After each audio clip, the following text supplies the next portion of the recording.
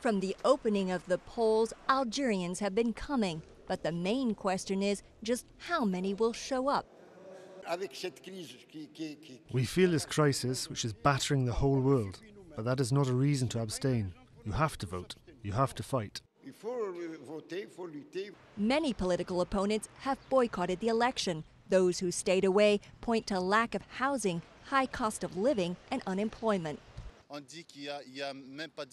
They say that there is an unemployment rate of 10%, but I think that's not true. That's not reality.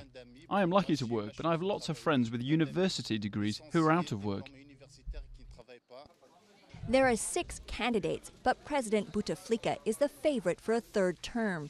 He's hoping for a bigger turnout than the 55% who voted in the previous election. The outgoing prime minister is a close ally. The quality of the campaign, the peace with which it took place, signals a gradual and permanent strengthening of democracy in our country.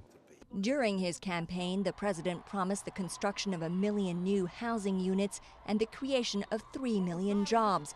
But critics say these are just empty promises.